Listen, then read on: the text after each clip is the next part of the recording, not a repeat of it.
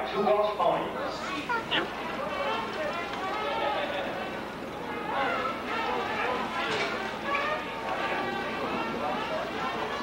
Born March 18th of this year.